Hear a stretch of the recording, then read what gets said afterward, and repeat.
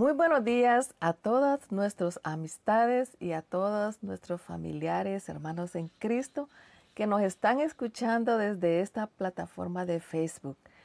Hoy estaré hablando un tema que es muy controversial, que se llama La mujer respete a su marido.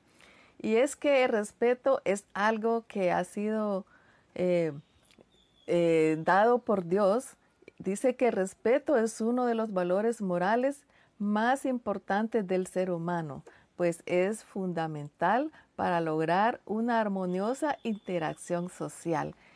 Eh, Dios eh, le dijo a la mujer, la mujer debe respetar al hombre y creo que es por algo muy especial, porque también nos fue dado el mandamiento que dice eh, que hay que respetar a nuestros padres.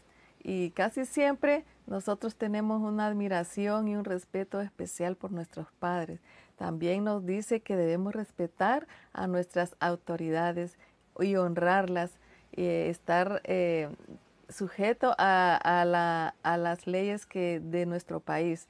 También debemos respetar a los maestros y en general debemos respetar a nuestro prójimo, aun las personas que están trabajando con nosotros, que están bajo nuestra autoridad también son personas dignas de respeto. También todas eh, eh, las personas que trabajan, los, nuestros compañeros de trabajo y, las personas que, nosotros vemos eh, por la calle, personas que muchos dicen que ellos no son dignos, pero sin embargo Dios quiere que respetemos a todas las personas.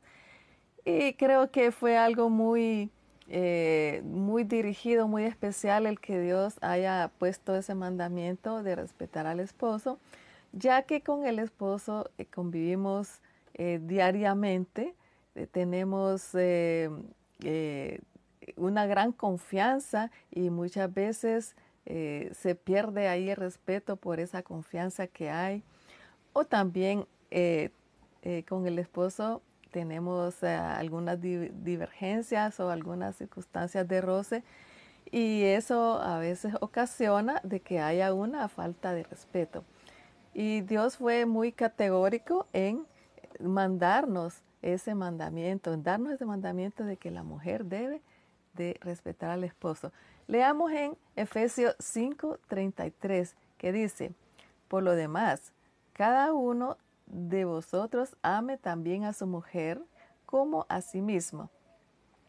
Y la mujer respete a su marido.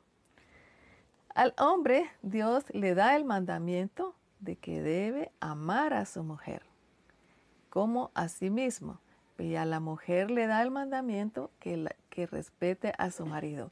Y yo estaba buscando en otras versiones para ver si Dios suaviza un poco este mandamiento, pero veamos lo que dice en la Reina Valera actualizada. Dice, y la mujer reverencia a su marido. Eh, también en la nueva Biblia eh, viviente dice, nueva traducción viviente dice, y la esposa debe respetar a su esposo. En la, en la Biblia, la palabra de hoy, dice, y que la esposa sea respetuoso con su marido. O sea que en cualquier versión que nosotros lo estemos viendo, vemos que hay un énfasis ahí y, no varía la palabra porque dice que debe respetar a su esposo. Y vamos a irnos a un poquito más atrás de este versículo en contexto, eh, como lo que dice en hebreo en Efesios 5.1, dice, Sed pues imitadores de Dios como hijos amados, y andad en amor, como también Cristo nos amó y se entregó a sí mismo por nosotros, ofrenda y sacrificio a Dios en olor fragante. Esta es la manera como Dios quiere que todos nosotros como hijos de Dios andemos en amor, imitándolo a Él, como hijos amados que somos de Él, imitando a Cristo, porque Cristo nos amó y se entregó a sí mismo por nosotros, como una ofrenda y un sacrificio a Dios en olor fragante. ¿Por qué? Porque en otro tiempo, ¿por qué debemos comportarnos en amor y, ser como ser imitadores de Dios? Porque nosotros en otro tiempo éramos tinieblas. En otro tiempo no teníamos amor por las personas, no había respeto, no teníamos la palabra de Dios que nos dirige. Mas ahora sois luz en el Señor. Andad como hijos de luz, porque el fruto del Espíritu es en toda bondad, justicia y verdad, comprobando lo que es agradable al Señor. Someteos pues los unos a los otros en el temor de Dios. Este es el contexto de este versículo en el cual Dios da instrucciones a todos para que andemos como Él anduvo, para que amemos como Él amó, que se entregó a sí mismo por todos nosotros, en, en, en olor fragante, porque Dios nos da un mandamiento, pero también Él nos ha dado un gran ejemplo. Y cuando vemos ahí eh, en el versículo que dice, por lo demás las mujeres eh, respeten al, esposo, se está refiriendo a el versículo que está en Efesios 5:22 que dice, las casadas estén sujetas a sus propios maridos como al Señor. Esa es la voluntad de Dios. Nos da ese mandamiento que las casadas estén sujetas a sus propios maridos como el Señor. Entonces, si la mujer debe estar sujeta a su marido como al Señor, quiere decir que debe haber un respeto como al Señor, respeto al marido como al Señor. ¿Por qué? Porque el marido es la cabeza de la mujer. Entonces, si es el que dirige, si es en la cabeza, debe haber el respeto. Como dice, el marido es cabeza de la mujer así como Cristo es cabeza de la iglesia y la iglesia es su cuerpo y el Señor Jesús es su Salvador. El marido, dice ahí, es la cabeza de la mujer.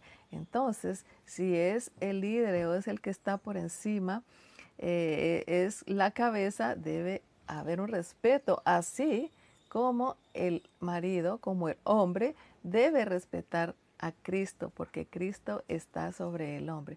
Entonces de ahí viene en que de e, eso quiere decir, eso es lo demás que dice, por esa razón eh, la mujer debe respetar al esposo porque es la cabeza de la mujer.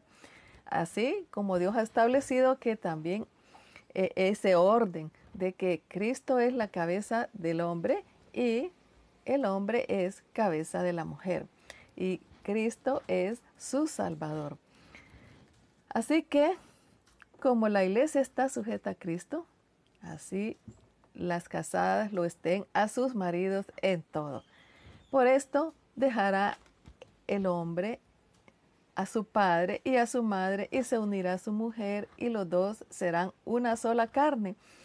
Quiere decir que hubo un traspaso de de una reasignación de la autoridad, porque en, principio, desde que nacemos en familia, pues nuestro padre es la cabeza del, del hogar, de esa familia, de la mujer. Y cuando ya la mujer se une a un hombre, entonces hay un cambio ahí. Ahora la mujer debe de estar sujeta o debe respetar a su esposo que es la nueva autoridad sobre la mujer que ha sido dada por el Señor. Y hay muchos ejemplos en la Biblia, pero un ejemplo que es muy llamativo es el ejemplo de Sara, porque dice que ella eh, le llamaba, eh, tenía tanto respeto y estaba tan sujeta a su esposo que ella le llamaba Señor, como dice en Primera de Pedro 3.1. Eh, ella sentía un respeto eh, muy grande por su esposo y vamos a leerlo aquí en Primera de Pedro 3.1.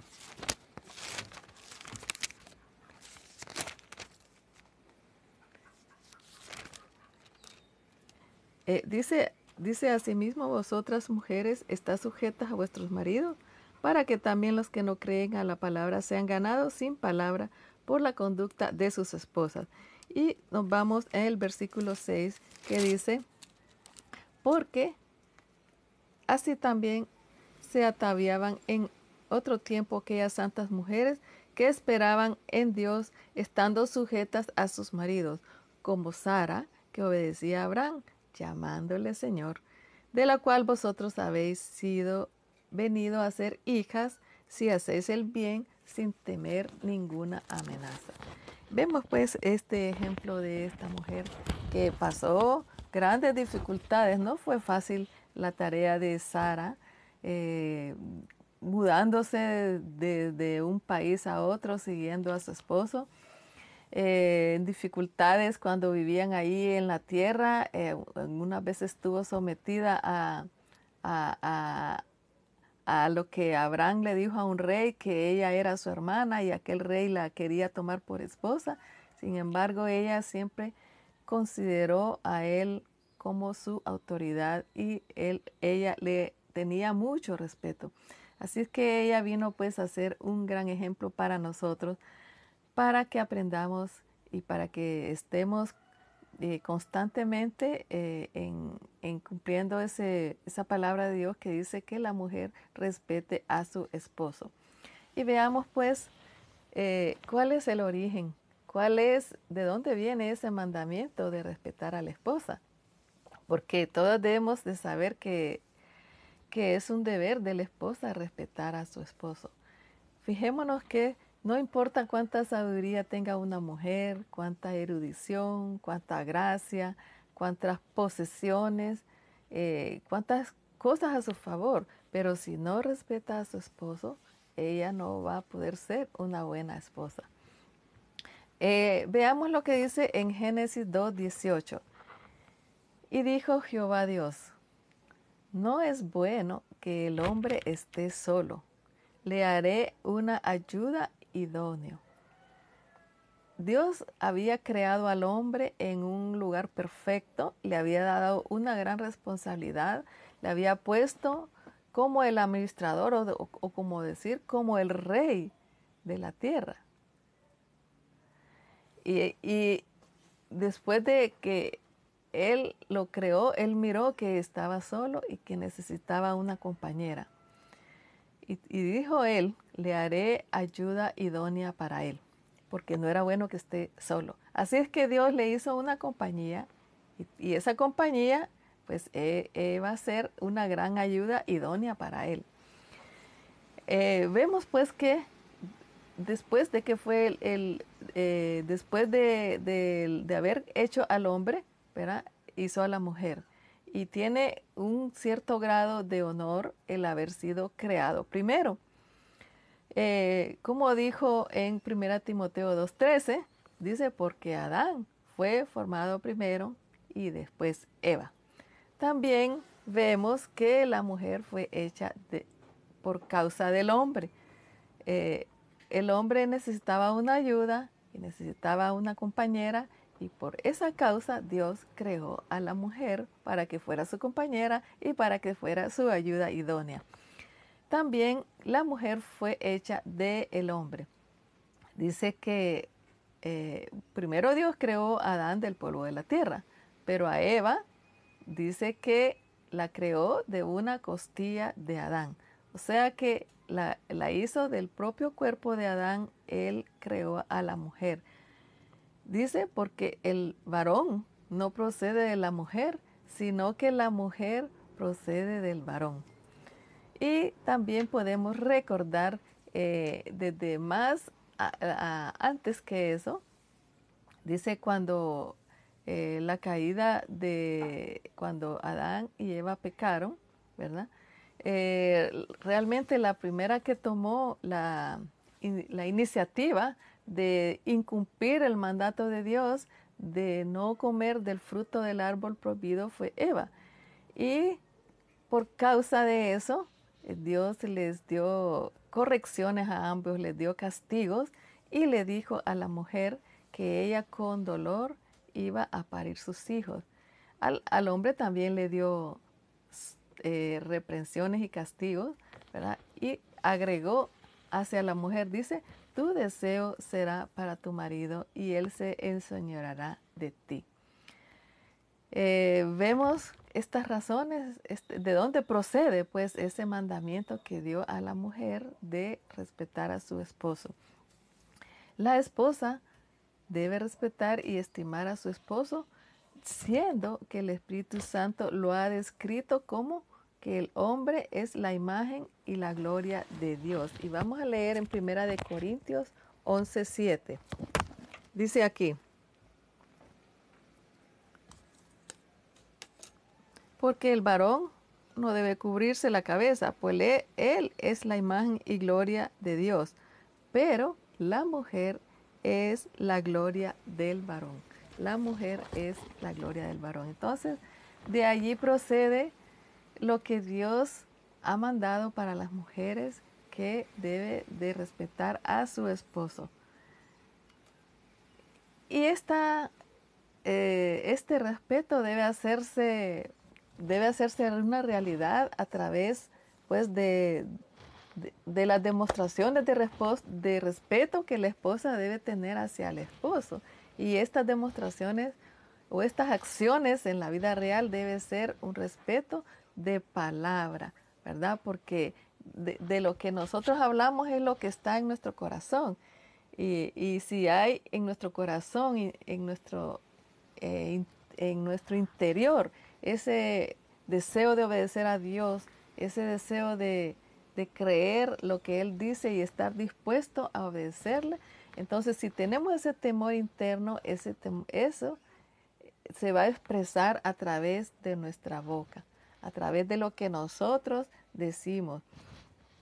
Y eh, pues debemos de, demostrar nuestro respeto a través de las palabras que nosotros hablamos de nuestro esposo, cómo nos referimos a él, cómo hablamos de él delante de otras personas, de nuestros hijos. Conozco eh, una persona que tenía eh, una manera bien, bien irrespetuosa de hablar de, acerca de su esposo y decía, ya viene este inútil que no sirve para nada. Y, y, cuando uno, yo lo escuchaba decía, qué difícil ha de ser esta relación matrimonial, porque cuando no hay respeto, entonces se rompe esa armonía, se rompe eh, e, el, el, mandamiento que Dios ha dado y se rompe la buena comunión de los unos con los otros, además de ser un mal ejemplo para los hijos. También eh, la demostración de respeto en palabras acerca de cómo la mujer se refiere a su esposo, de cómo le habla, si le, si le habla con palabras respetuosas, con palabras de bondad, de justicia, de verdad, en amabilidad también, ¿verdad? Y cuando hay que decir las cosas eh, que duelen, las cosas eh, o reclamar por algo, siempre debe mantenerse el respeto. De manera que eh, seamos personas que eh, imitemos a Dios, porque Dios es amor y Él es bondad y también es verdad, pero Dios nos, nos habla a nosotros también con amor. La demostración de respeto también debe ser de hecho, debe ser en acción cuando hay eh, acuerdos, cuando hay instrucciones, si hay respeto, se va a seguir los lineamientos que están dados para el hogar, eh, los, lineamientos que el hombre como cabeza de la familia ha establecido, o los que se han puesto juntos en un acuerdo. Entonces debe haber ese respeto de, en el, de hecho, de seguir a las a las directivas, eh, de seguir a las instrucciones, de seguir lo que es la autoridad del esposo. Como dice en, eh, en Timoteo 2.4, eh, dice que nos manda a las mujeres a ser prudentes, castas, cuidadosas de la casa, buenas, sujetas a los esposos, para que la palabra de Dios no sea blasfemada. Porque nosotros cuando no respetamos al esposo, cuando no respetamos eh, nuestro, eh, su posición eh, como líder de, la, de, la, mujer, como líder de la casa también, entonces la palabra de Dios es blasfemada. Y eso es algo que nosotros debemos de tener muy presente, de ser imitador de Dios, de comportarnos como hijos de Dios, de ser luz, para que nosotros podamos ayudar a que la palabra sea predicada en buena manera y no sea blasfemada por causa de nuestra conducta. Dios, eso es lo que mandó para nosotros las mujeres, que debemos de, eh, de, respetar al, al esposo. Y, y, de esa manera eh, nosotros vamos a contribuir a que la palabra de Dios eh, sea respetada, que sea oída por otras personas. Muchos van a creer en el Señor por causa de nuestra conducta. Incluso dice la palabra de Dios que hay algunos, algunas mujeres que están casadas con hombres no creyentes, pero si la mujer muestra un respeto eh, eh, hacia el esposo, eh, esto va a contribuir para que el esposo pueda conocer a Dios y pueda llegar a creer en Él y pueda convertirse en un hijo de Dios. Eh, y Dios pues quiere que nosotros, las mujeres, seamos emisoras, seamos transmisoras de, de, su palabra. Y una manera que podemos hacerlo es a través de nuestra conducta casta y respetuosa. Y también podemos eh, hablar a otras personas acerca del amor de Dios, acerca de cómo Él, cómo el Señor Jesucristo se dio a sí mismo para salvarnos.